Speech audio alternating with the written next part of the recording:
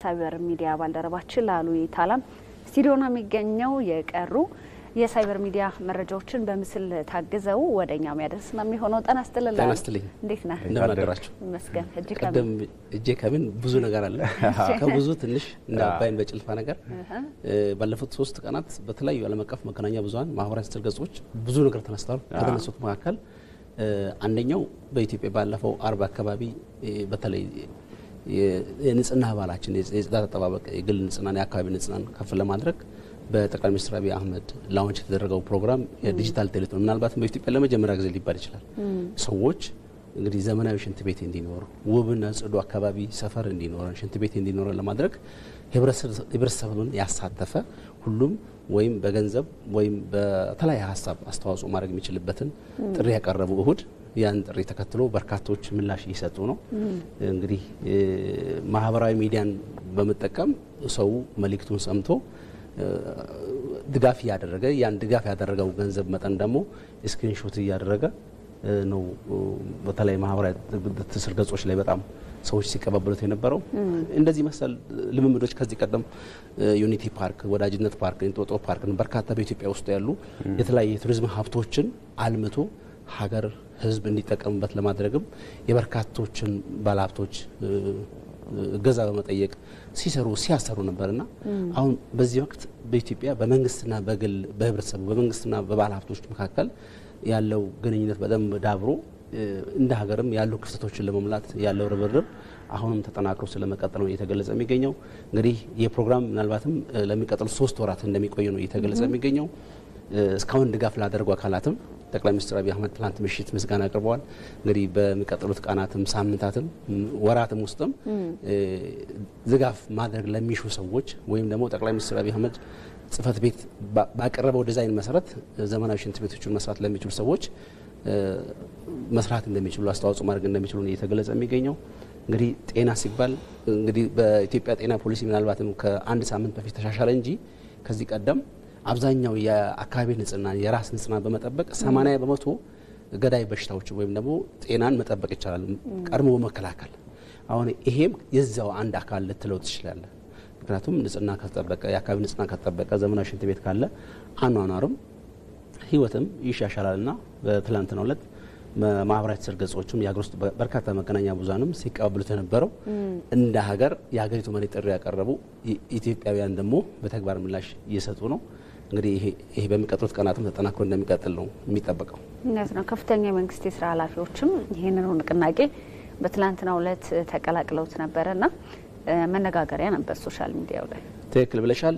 ሁለተኛው የተለያዩ ኩባንያዎችን ታርጋ ወይም ደግሞ መለያ ምልክቶችን በመጠቀም ሀሰተኛ የፌስቡክ፣ ቴሌግራም የተለያዩ ድረገጾችን በመክፈት ተከታዮቻቸውን ለማብዛት ጥረት የሚያደርጉ የማህበራዊ ሚዲያ ተጠቃሚዎች ቁጥር አሁንም እየተበራከተ ይገኛል። እንግዲህ ባለፈው ሐሙስ አርብ ጀምሮ የኢትዮጵያ ንግድ ባንክን ሎጎ በመጠቀም በጣም የገረመኝ እስከ 40 ሺህ 50 ሺህ 130 ሺህ ቴሌግራም ተከታዮቻቸውን ቁጥር ለማብዛት አሁን ይሄ ዘመን ብዙ ተከታይ ያለው ቴሌግራም፣ ፌስቡክ ፈጥረህ ያን ቴሌግራም ትሸጣለህ። ልክ ማስታወቂያ ላይ የሚያስነግሩ ድርጅቶችና የኢትዮጵያ ንግድ ባንክንም ሎጎዎችን በመጠቀም አርማዎችን በመጠቀም በርካታ ሀሰተኛ የቴሌግራም ቻናሎችን እየተከፈቱና እየተሰራጩ ስለመሆኑ ነው የኢትዮጵያ ንግድ ባንክ ያስታወቀው። እንደዚህ መሰል ተግባራት ለምን ተመረጠ? የኢትዮጵያ ንግድ ባንክ እንግዲህ በኢትዮጵያ ውስጥ በተለይ የኢትዮጵያ ብሮድካስቲንግ ኮርፖሬሽን አሁን የምንሰራበትን ስቱዲዮ ጨምሮ በበርካታ የልማት ዘርፎች እየተሳተፈ የሚገኝ አንጋፋ የምንለው ተቋም ነው።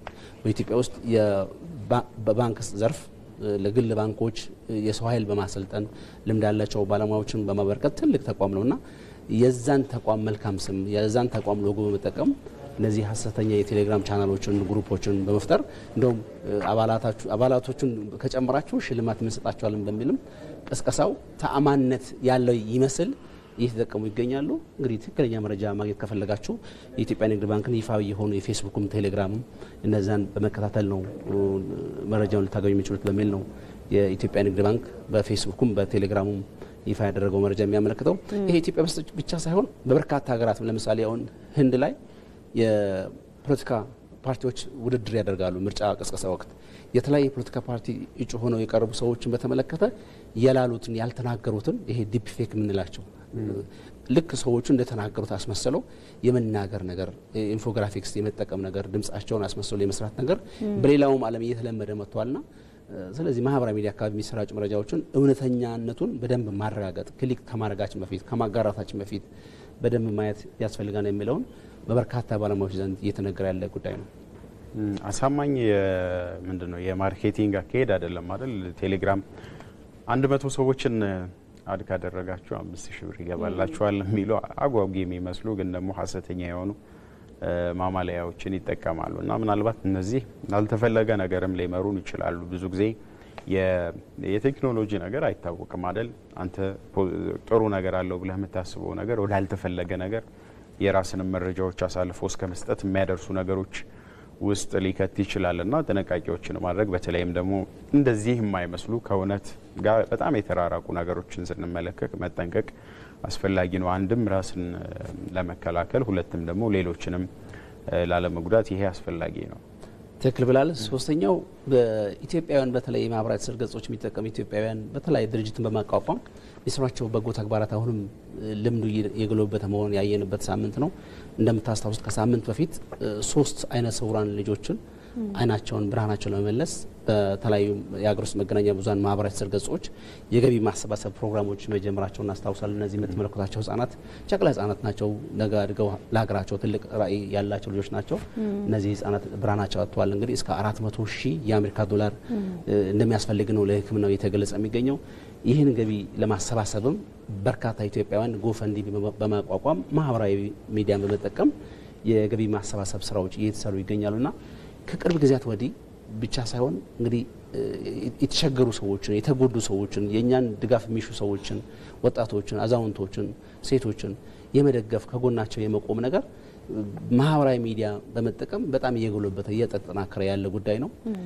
ይሄ አሁን የምትመለከቱት ቀጣይ ምስል ደግሞ በወላይታ አካባቢ የሚገኝ አንድ ባለሀብት ትግራይ ክልል የሚገኙ ወንድም እህቶቻችን መሰረታዊ የሚባል ድጋፎችን ያደረገበት ነው። ይህም ማህበራዊ ሚዲያ አካባቢ ሰዎች ሲቀባበሉት የነበረ ጉዳይ ነውና ማህበራዊ ሚዲያ ለበጎ ዓላማ ከመጠቀም አንጻር። ይሄ የምትመለከቱት ደግሞ ኢብራሂም ሻፊ በሚባል አንጋፋ ጋዜጠኛ ስም አንድ ሂባ የሚባል ፋውንዴሽን ጉራጌ ዞን ላይ ንጹህ ውሃ አስቆፍሮ ለማህበረሰቡ፣ ለሴቶች፣ ለህፃናት ተደራሽ ማድረግ የቻለበት ገንዘብ ማሰባሰቡ ስራም የተለያዩ ማህበራዊ ሚዲያዎችን በመጠቀም ለወራት በፊት የኢትዮጵያ ብሮድካስቲንግ ኮርፖሬሽን የኤፍኤም አዲስ 97 ነጥብ አንድ ጋዜጠኛ የሆነችው ኑራ ኢማም ጭምር የተሳተፈችበትና በትላንትናው ዕለት በይፋ ተመርቆ ለህዝቡም ቀበሌው አመራር የተረከበበት ነው።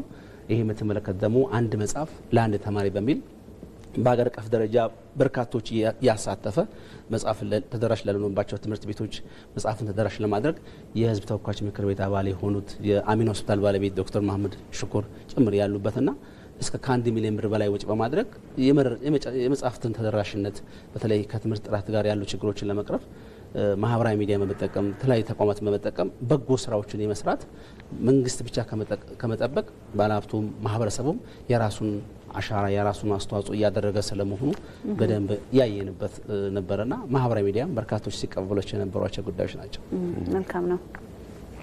ወደ አራተኛ ስንሄድ ወደ ጣሊያን ወስዳቸዋለሁ።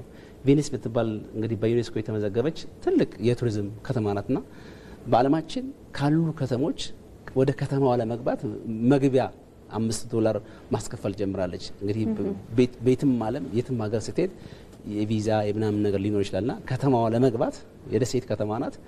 አምስት ዶላር ማንኛውም ቱሪስት መክፈል ይጠበቅበታል። ይሄ በትላንትና ሁለት ነው የተጀመረው። ምናልባት በዛ ከተማ ውስጥ የሚሰሩ ሰራተኞች፣ ነዋሪዎችና እድሜያቸው ከ14 ዓመት በታች የሆናቸው plus ደግሞ በዛ ከተማ ላይ ለማረፍ ሆቴል reserve ያደረጉ ወይም ደግሞ ሆቴል የያዙ ሰዎች በስተቀር ማንኛውም ጎብኚ እዛች ከተማ ለመግባት አምስት የአሜሪካ ዶላር መክፈል ይጠበቅበታል ተብሏል። ይህም በበርካታ የከተማዋ ነዋሪዎች የቱሪስት ፍሰቱን ሊቀንሰው ይችላል በሚል እንደ ተቃውሞ ተነስቷልና የገረመኝ በዚች ከተማ የሚኖሩ የህዝብ ቁጥር 50 ሺህ ነው። በአንድ ቀን ግን አንድ መቶ አስር ሺህ ሰዎች ይጎበኙታል ይችን ከተማና ምን ከፍተኛ የቱሪዝም መስህብ እንደሆነች ቅርስ እንደሆነች ነው እየተገለጸ የሚገኘው። አንዳንዴ አንድን ከተማ ያሉ ውስጥ ያሉ ነገሮች ከማየት ውጭ ከተማው ለመግባት አምስት ዶላር እንግዲህ ወደ ኢትዮጵያ ስንመነዝረው በጣም ብዙ ብር ነው። ከሶስት መቶ እስከ አራት መቶ ብር ይደርሳል። እንግዲህ ዓለም ቱሪዝም እንደውም ገንዘቡን ራሱን ለምንድን ነው ይህን ያክል ማስከፈል ያስፈለገው በሚል ጥያቄ ተነስቶ ለቱሪስቶች አስፈላጊ ነገር ለመስራት ለማድረግ የምናወጣው ወጪ ከዚህ በላይ ነው። ለ management ነው። አጠቃላይ የቱሪዝም ፍሰቱን እንቅስቃሴውን በአግባቡ ለመምራት ነው እንጂ ያን ያክል ገቢ ለመሰብሰብ አይደለም በሚል ተናግሯል። የከተማዋ ከንቲባ በትላንትናው ዕለት በበርካታ የቱሪዝም ናፋቂዎች ወይም የከተማ ነዋሪዎች አካባቢ እንደ ቅሬታም ሲነሳ ነበርና ትንሽ አስገርሞኛል። ከተማ ለመግባት ልክ እንደ መግቢያ አምስት ዶላር ከፍለ ግባ ማለት ምናክል በቱሪዝም ብዙ ነገር ከሰራ በቃ ሰው የሚታይ ነገር ካለ ከፍሎ ይገባል የሚለውን ያን አጥንተውም ይመስለኛል። በቀን 150 ሺህ ሰው ነው የሚጎበኛት። 110 ሺህ ታባዛውን 110 ሺህ አንድ መቶ አስር ሺህ 700 ሺህ በአምስት 700 ሺህ ገደማ ማለት ነው እና የሚገኘው ዶላር በጣም ብዙ ገንዘብ ነው የሚሆነው እና አይ ለነሱ በጣም አዋጭ ነው የሚሆንላቸው።